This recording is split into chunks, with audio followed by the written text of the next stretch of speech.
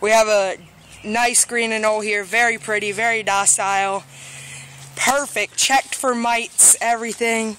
It's very good. He's eating well, all this good stuff. Uh, he's about five months old, five and a half old, and uh, he'll be up for sale on our website for $10 plus shipping and handling, of course. He's very nice, very nice and green. See that? Very pretty, nice and fat.